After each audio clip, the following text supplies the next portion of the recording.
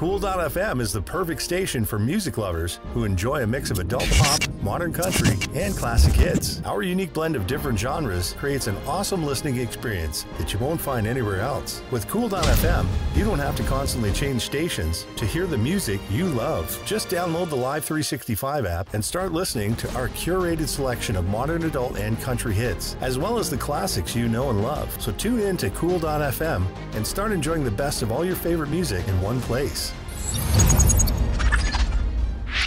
Hi, I'm Stacey Weckstein, and you can find my work at staceyweckstein.biz and esmemylove.com. You're listening to Two Geeks Talking. Good morning, afternoon, evening, everyone. Two Geeks Talking is an entertainment industry interview show where we interview the creative people from the comic, film, TV, movie, and video game industries. Of course, I'm your host, Kurt Sasso. We are joined today by a very talented individual. This is part three of three separate interviews about this amazing film called Esme My Love. We had director Cory Choy on earlier on today.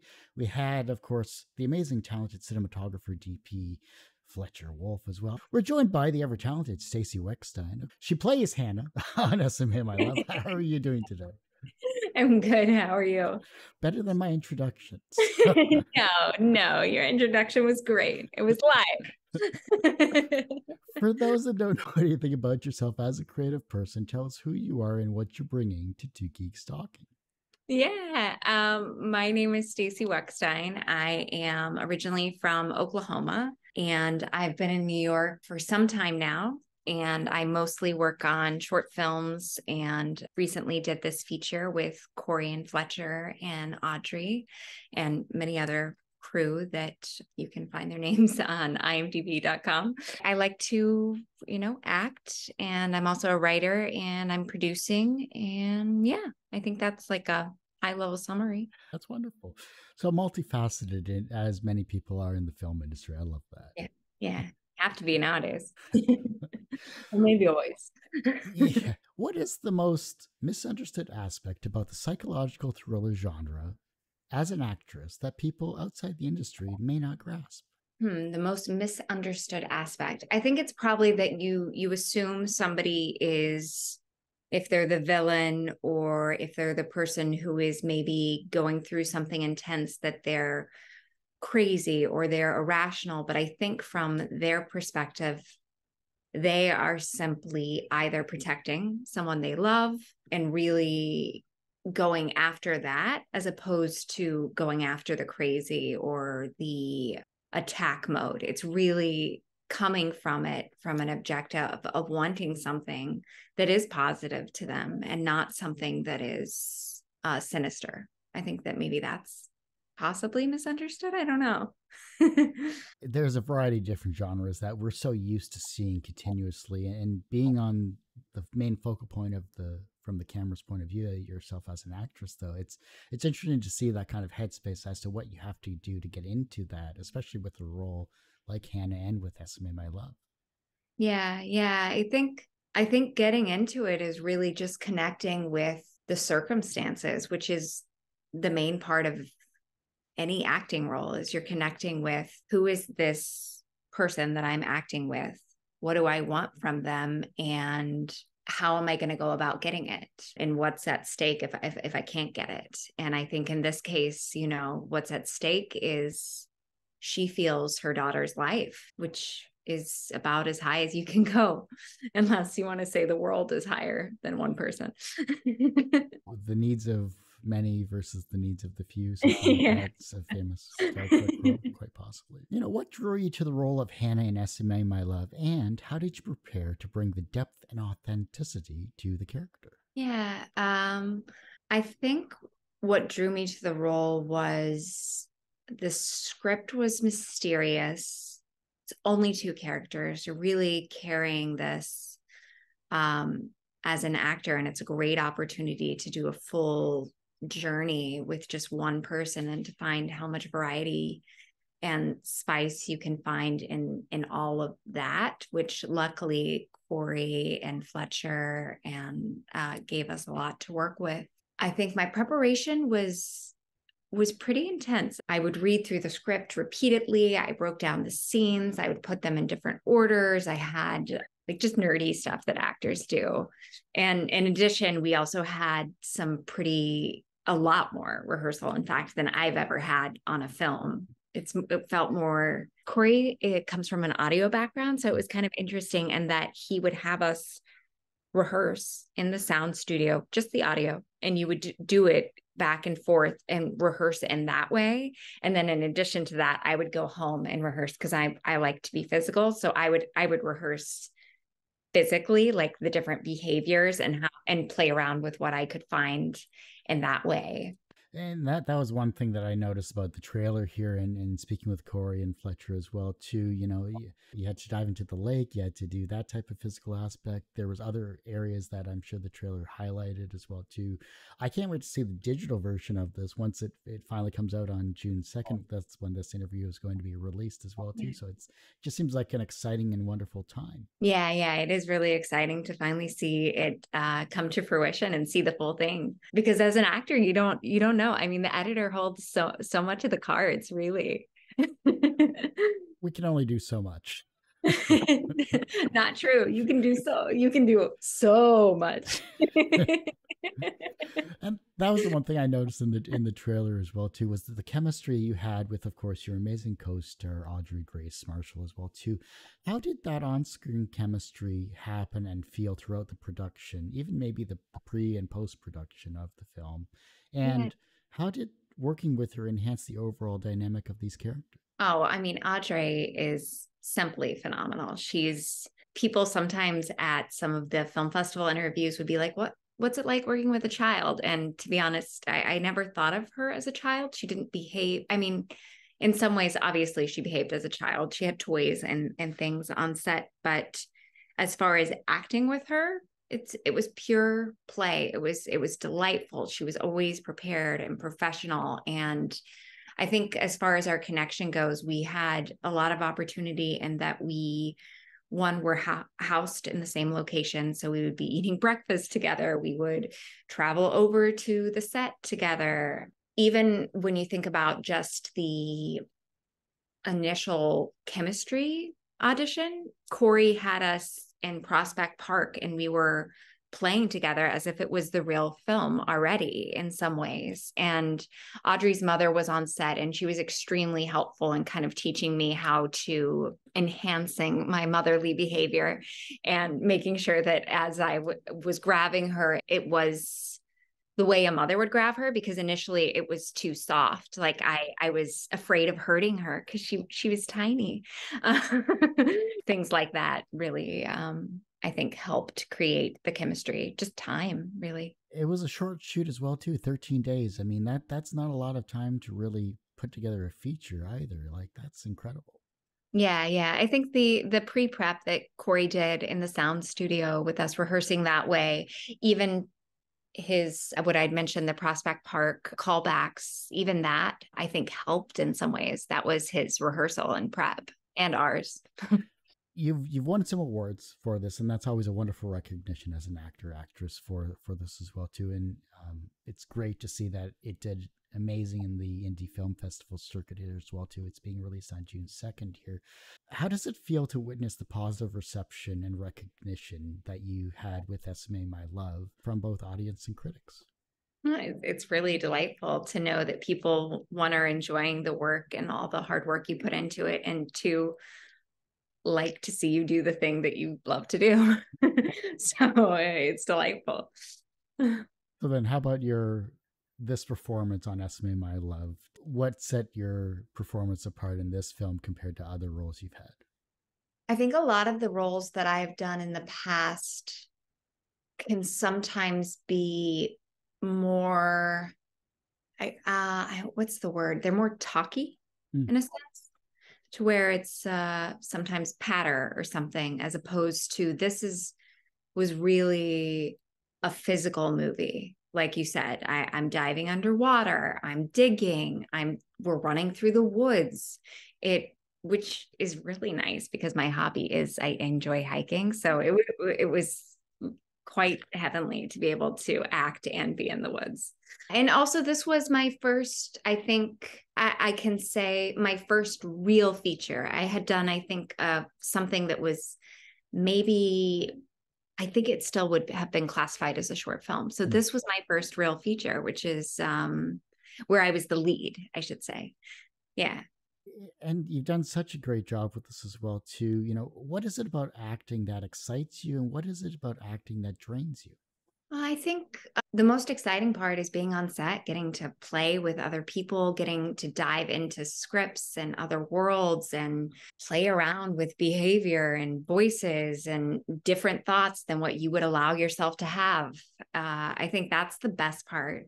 The hardest and most difficult part is actually getting the opportunity to do that so you know it's the auditioning process. Right now we're in a strike. There there is no auditions. It's that. It's the how do you fill your time when you're not working? Because uh, most of your time is not working. So you have to find ways to get that joy and pleasure either by doing other things like you said producing writing rehearsing scenes with your friends, taking classes. Being in the city that never sleeps, obviously, there's, i I'm sure there's a lot of excitement and opportunities uh, around there. What are you currently producing or writing that you can talk about? Yeah, yeah. I'm in the early stages of producing a feature film with uh, his name's Sam uh, Levy, who I worked with on a short called Yes Vacancy. I think, gosh, many years ago. I want to say five years ago, eight years ago, something like that. And uh, he normally writes uh, comedic stuff. And this film is more of a uh, family drama film. That's what we're working on right now. It's called The Rugged Cross, and it's about a radio host who is struggling to care for her dementia addled mother. And her mother gives away a significant sum of money to this evangelical preacher. And so the daughter sets out to prove that this preacher is basically preying on all these older people. And so it's a combo. I mean, the heart of the story for me is really the mother daughter relationship and the family trying to connect when you come from two opposing things with the ticking time clock of her illness. It's going to be a feature. Nice. That's great. What was an early experience where you learned that language had power? Oh, that's hard. I think um, I don't know how early this is, but I remember going to a Shakespeare uh, camp. This this is actually not early. I really discovered the delightfulness in language, which is not exactly the same question, but the different colors that it can have and the different meanings that one word can bring, which is really in some ways powerful. Is there a monologue that you can always go to that kind of inspires you to act your best? Oh, no, no, I don't think so. I don't a, a, go-to. That would be nice. I should come up with a, a monologue or a power song. Something. Everyone usually asks what's the wisest piece of advice or what's the most bs piece of advice you've ever received? But what is the second wisest piece of advice that you've received that has stuck with you in your career I think is to stay open and curious and not to judge, especially in the times that we're living in right now. It's so easy to take somebody's words or actions and quickly judge them as opposed to staying curious and thinking, what is that about? Or what's interesting about what they're saying as opposed to automatically going to the negative or the fight. I think that that's a good way to approach things. Everyone has one person that inspired them on their path to where they are today. Who was that for you? Oh, I think I'm very lucky. I had many people who inspired me on my path. It started, I guess it would start with my dad. My dad and I used to, he used to play piano and I would sing with him and he would get really into characters. And I remember growing up, he would always kind of MC some of the school events. And so that definitely inspired me. And also he's, he's a basketball coach and he's very driven and he's won many state championships. He also used to play in the minor leagues, and I think he got injured and couldn't play anymore and he moved on to the next career so in some ways the point is is that if one dream falls another dream can reappear and you can pursue that just as hard as opposed to always living in the longing of that other thing of what could have been. From a professional standpoint, you have been an actress for many years and you're doing extremely well with that. And, and I love seeing your IMDb, but I want to see more of your, your work. So that means you just have to come back on in the future and talk about yourself in more great detail about your next amazing project.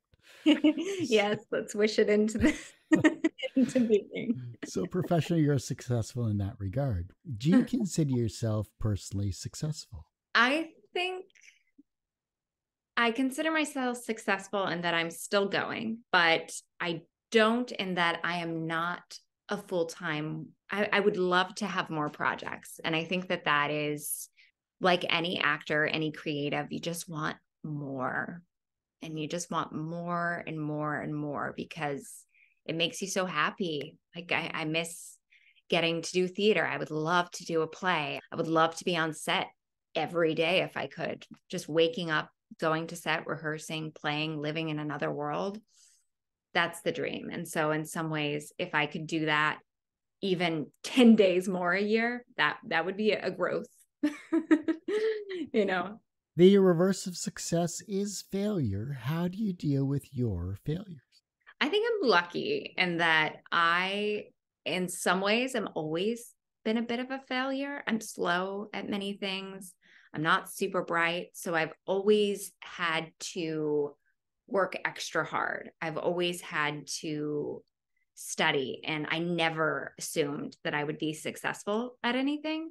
And so anytime I am successful at something, it's delightful. It's extra delightful. So I think in that way, I'm of the hustle mentality of you work, you do the homework, you read, you do the work, and hopefully it begets something. If it doesn't then and you mess up then you learn from the mess up and you keep going.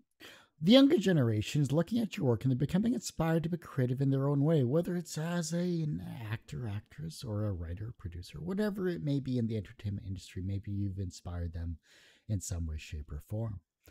How can they inspire the generation that follows them? I think that by continuing to create their work, having respect for each other. And when you see someone who is either talented or kind and not just a flat out jerk, you lend them a hand. If especially if they're asking for it. Sometimes if they're not asking for it, you just lend them a hand. I've met so many people who come to New York and they're like, "Oh, what classes should I take? Where do I even find auditions?" And it's takes you three seconds to help someone. Why not? Yeah. And be happy. Be happy when other people are working because that means that you're one step closer to working. You know someone who's working. There's a lot of there can be envy in in certain elements of this and I think if you if you reverse that and are just happy and genuinely happy for when other people are working, it's going to be a lot easier road for you. If your life was a movie, what would its title be? And what would its soundtrack be? I think the title would be Never Enough Dogs. And uh, maybe the soundtrack would be, I don't know, some sort of jazz music yeah it'd probably be hopping from dog park to dog park and and just just a woman staring at at at furry things all the time. Sounds like a great short. Well stacey i do hate to say it but that ends this particular episode of two geeks talking. I want to thank you so much for coming on the show. Yeah no thank you for having me. Before i let you go though where can we find you? How can we support you? Of course where's esme my love and anything else you'd like to promote? Yeah esme my love is at esme my love com and you can go there on June 2nd and it will list all the locations that you can see the film and any info on me and the stuff that I'm producing is just on my website, staceyweckstein.biz. Thanks. Well, like I said, that ends this particular episode of Two Geeks Talking. You can, of course, find this interview and a thousand, probably 1,200 plus others. I've lost count since 2008 on our website, tgtmedia.com or two geeks talking.com. That's the word two, not the number two. Of course, our website's going through a revamp because, you know, reasons, and I'm only one person. And of course, go to our YouTube channel, which is a lot more updated than our website, which is youtube.com forward slash TGT Media. The podcast is back after 12 years, which you can find it at two geeks talking.podbean.com or just search for Two Geeks Talking on iTunes, Spotify, and any of your favorite podcasting streaming services. And as I say every week, everyone has a story to tell. It's up to me to help bring that out. Thanks for listening and watching on Two Geeks Talking.